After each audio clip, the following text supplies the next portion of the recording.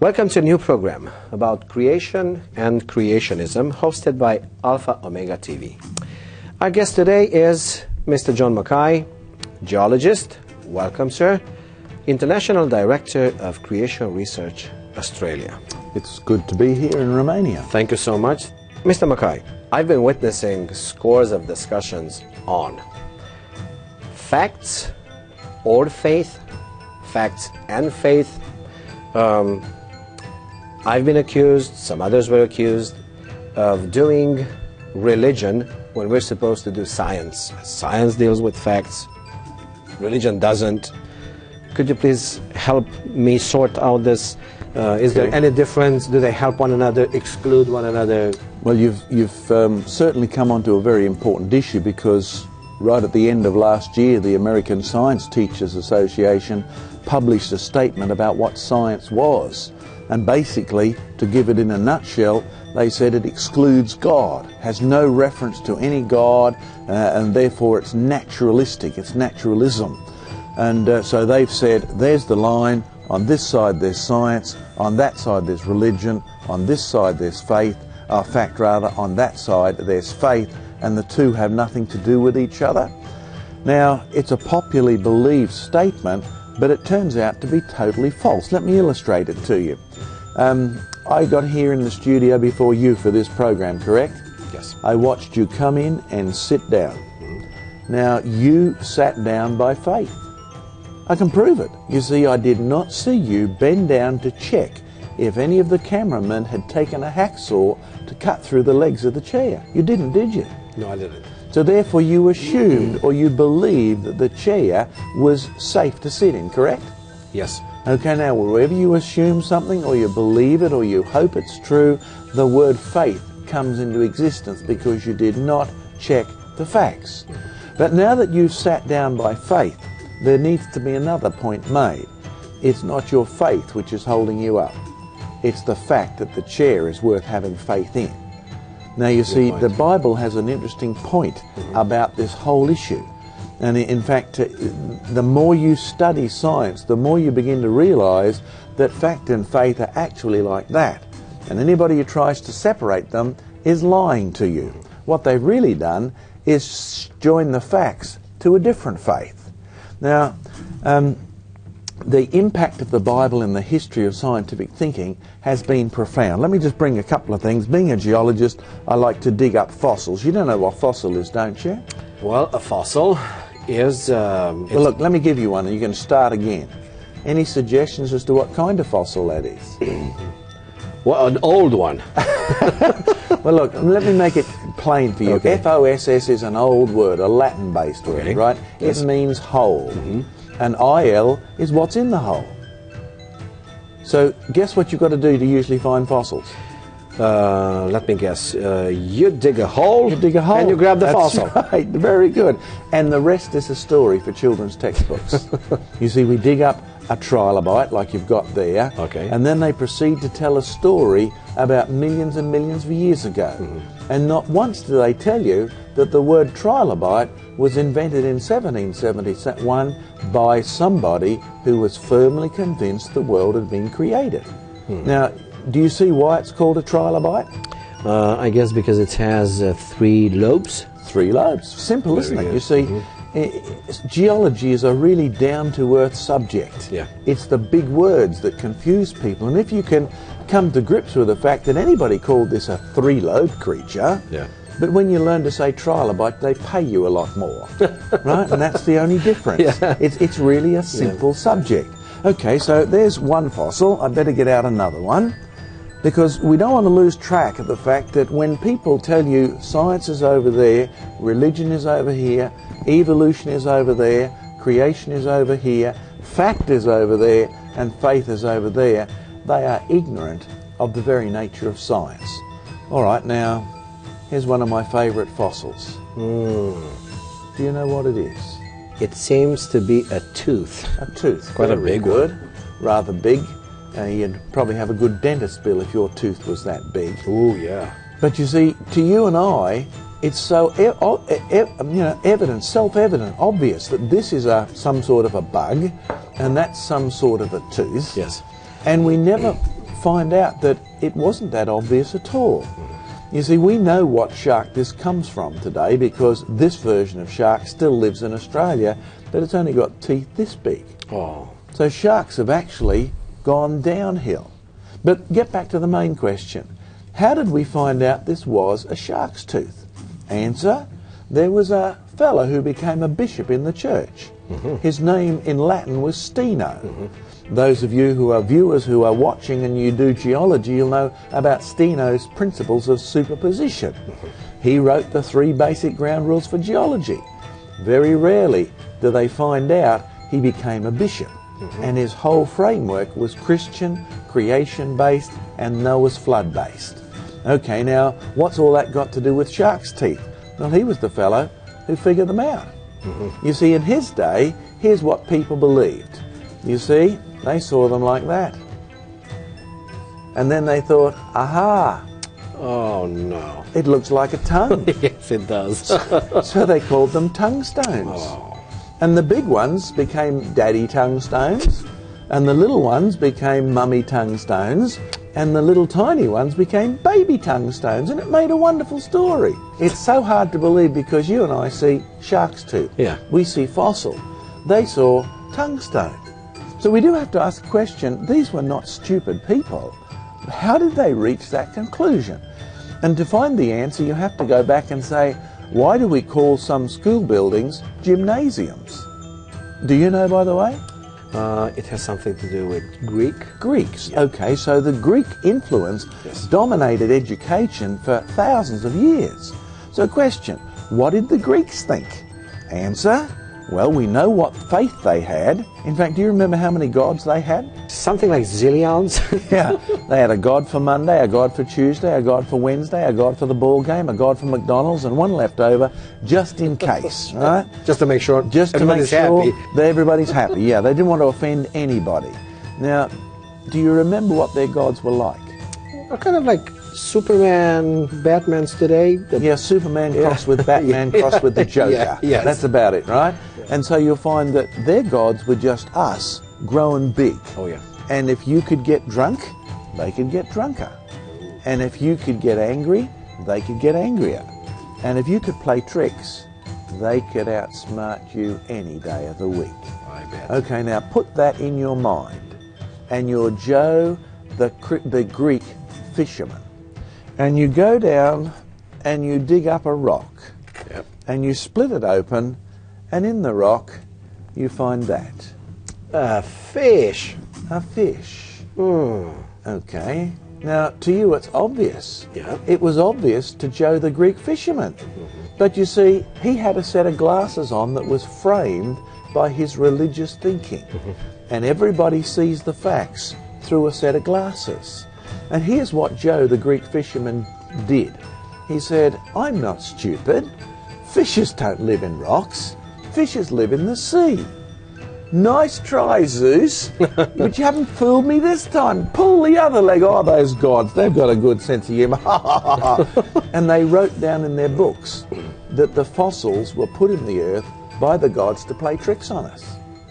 So, if the gods are playing tricks on us, I would have guessed there guessed the same thing. It really does look that way. exactly right. Okay, so you just make it up as you go along. And so, because the Greeks had the wrong religion, mm-hmm. they could never come up with the right science. You see, I, I keep telling people that if you don't ask the right questions, don't expect the right answers. And if you only have the wrong questions, you'll get nowhere near the right answers.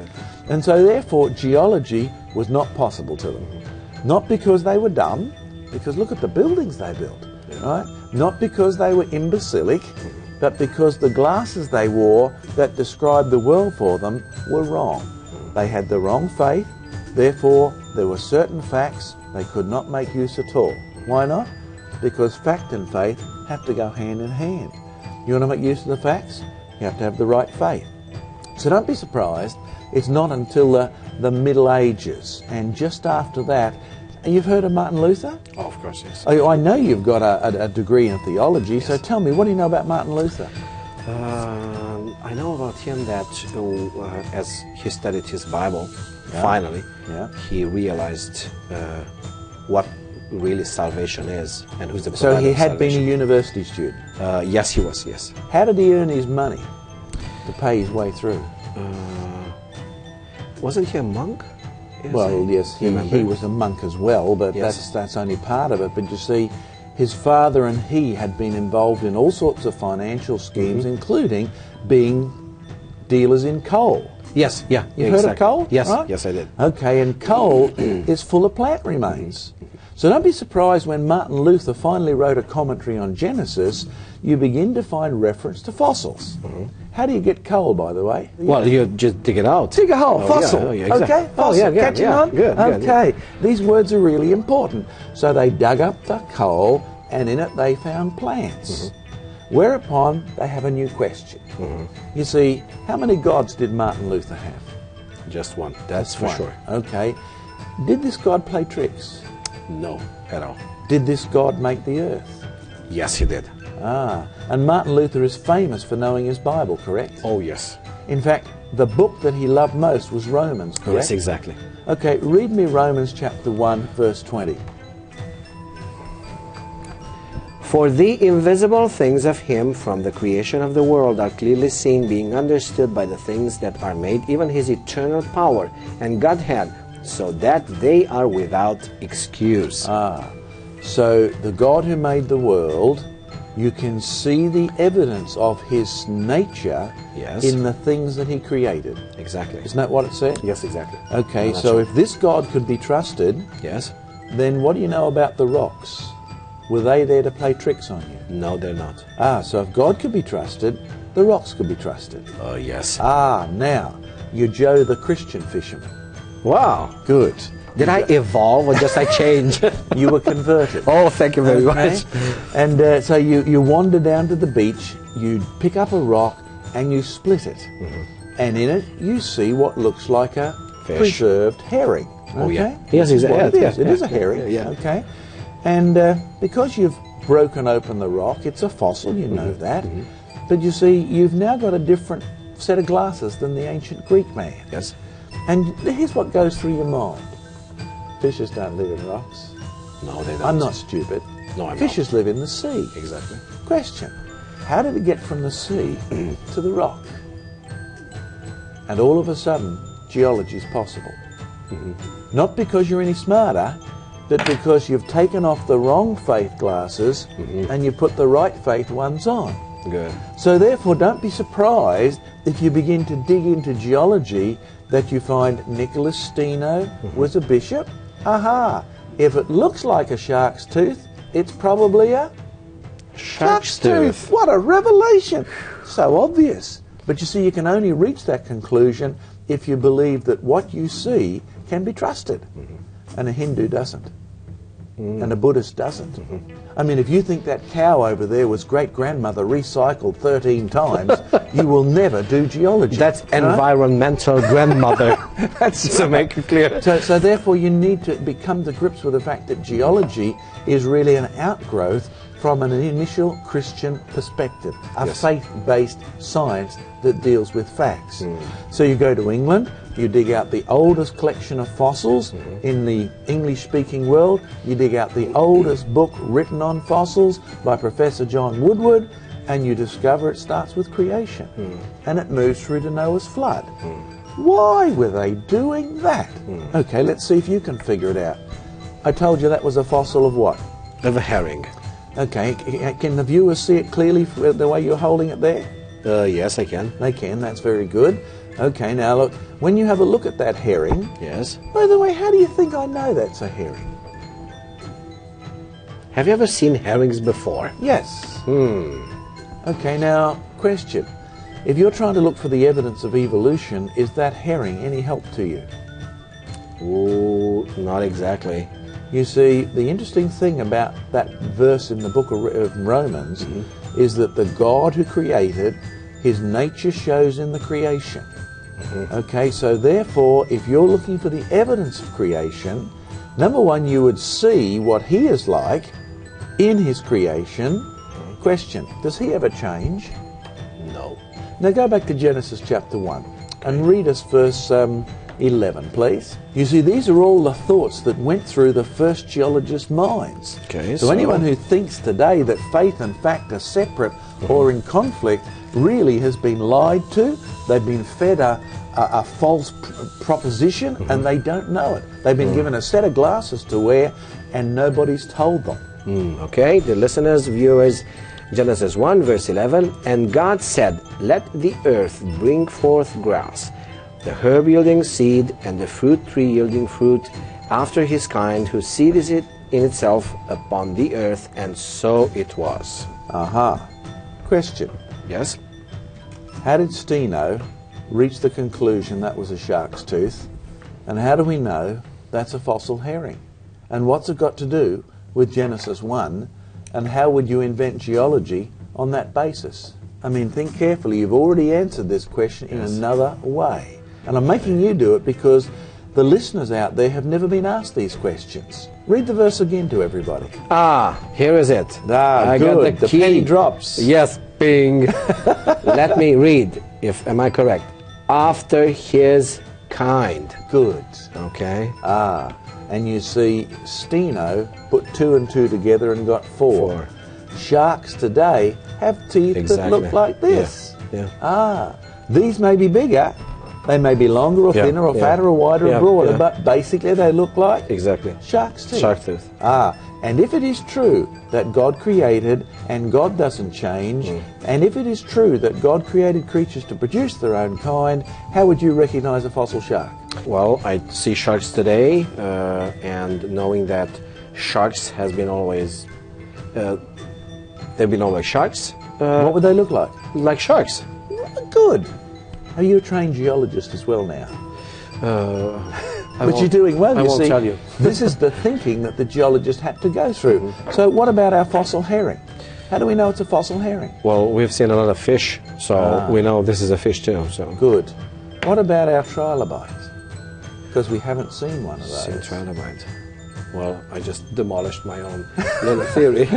Well, you haven't really. Um, All you've done is reached a new category of creatures because this one is extinct. Mm-hmm. Uh-huh. He's died out. He obviously used to be because he looks like he's got eyes at the front yeah. end and a cute Yeah. Mm-hmm. little mouth, and he's got, you know, he just looks like a, a bug on the bottom of Yeah, the seafloor. But he's not here anymore. There are some creatures a bit like him, so you think maybe he's in that family, and you're pretty right when it turns out Mm-hmm. to it. So therefore, you have two categories of creatures: those that have died out, Mm-hmm. and those that are still here. Which brings us up to another aspect of science which people are deceived about. Mm-hmm. Have you heard of Charles Darwin? oh, yes, I did. What's he famous for? For his uh, theory of evolution Okay, he wrote a book in 1859. Do you remember the name of it in English? on the origin of species. Origin of Species, okay.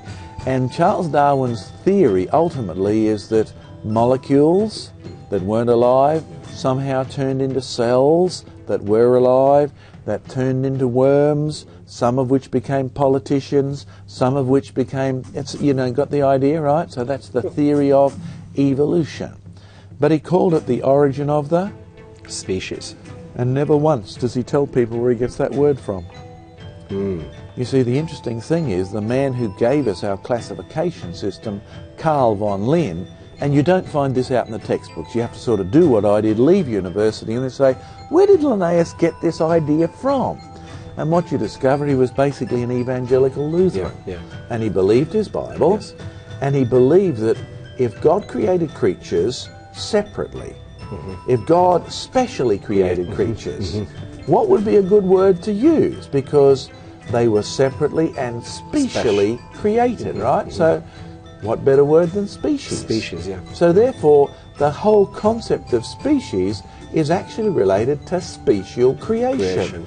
And they never told you that, and they never told me that, No. because the minute they do, it gives away the whole kit and caboodle. Yeah. Darwin is not telling us the truth. No. In fact, if you read Charles Darwin's book on the origin of the species, guess one thing it's not about? It's not about the origin of any species at all. it's about what happens to the species when they're here, hmm. how they can be selected or killed off. Hmm. That's what it's actually about. Hmm. It's not about the origin of anything.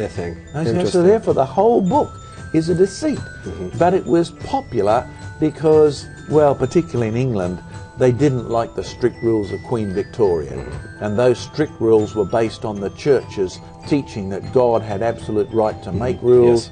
You want to get rid of Queen Victoria's rules, you have to get rid of the God who gave a basis for those rules. He was the creator, so what better way? Throw out creation, introduce evolution, and you can go wherever you like as chance dictates. You mentioned something very interesting.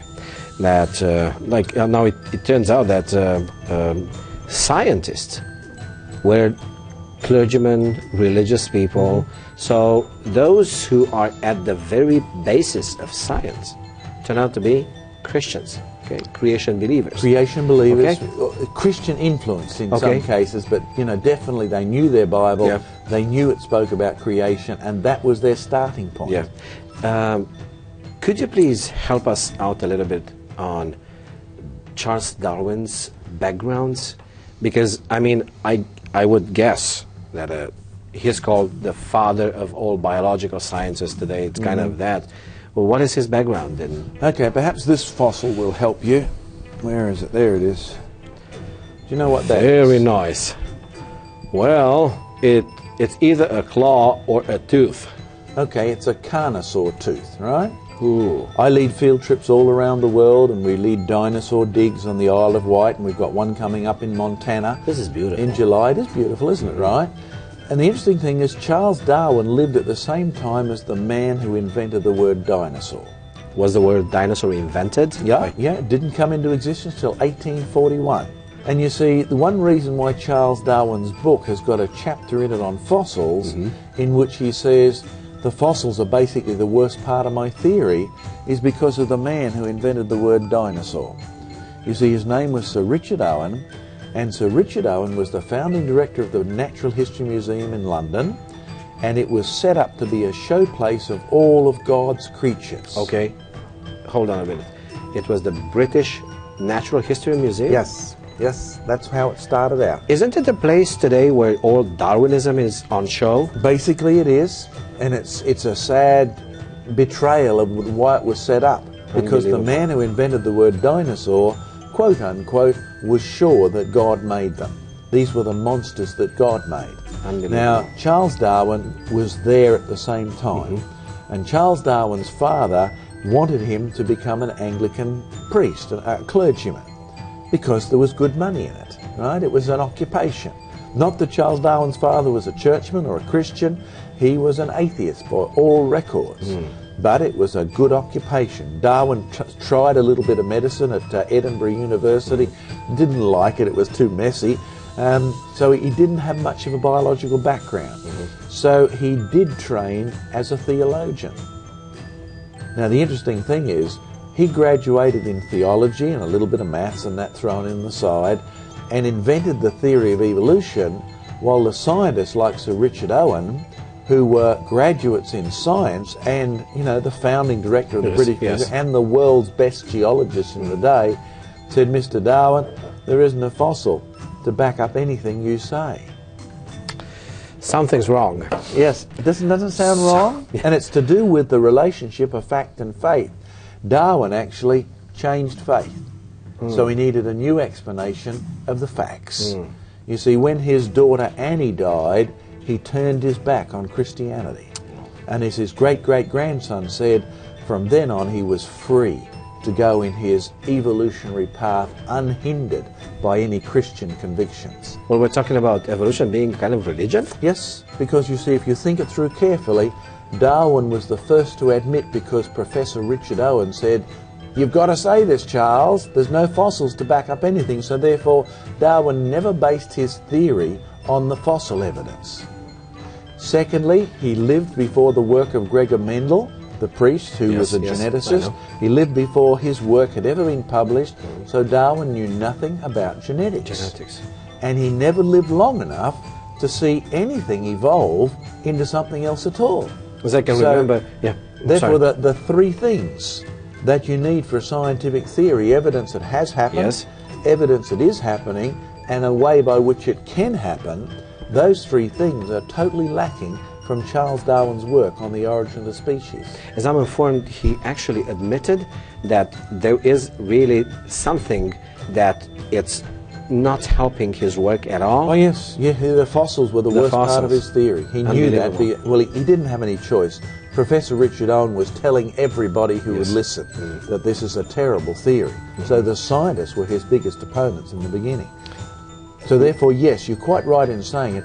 If if you're talking about faiths, Christianity is a fact-based faith, Okay. whereas evolution is an absolutely factless based faith. There is the difference. They're two religions, mm-hmm. but one is based on facts.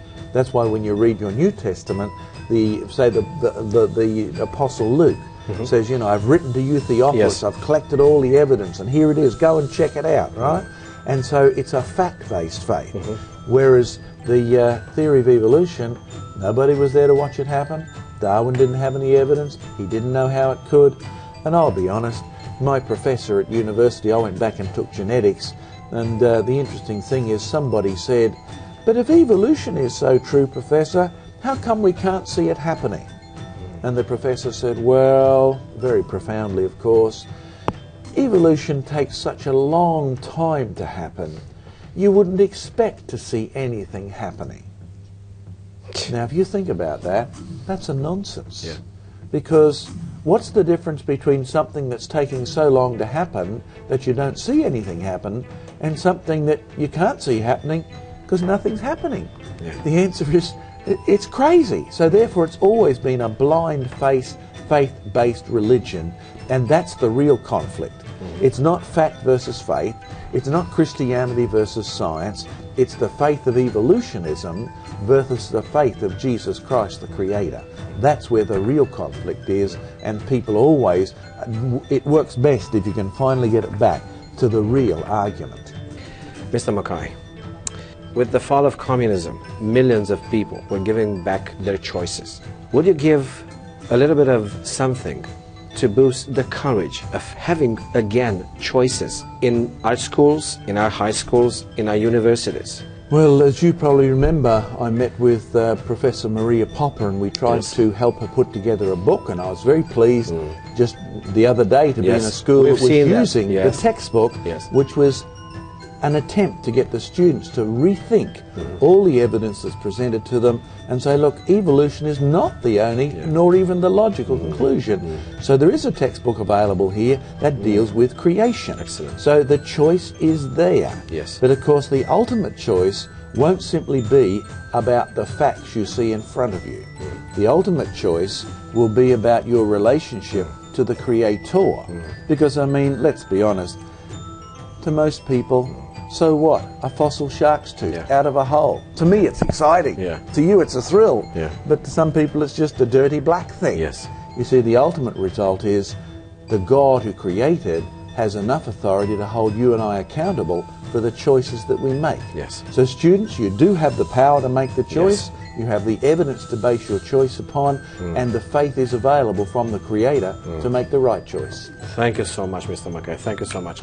So, you've heard, please, there's a coin with two faces. You may choose one and leave the other outside, but be, please be careful. Choosing one is going to lead you to the Creator. Thank you so much for uh, being with us today. Uh, please join us for the next program.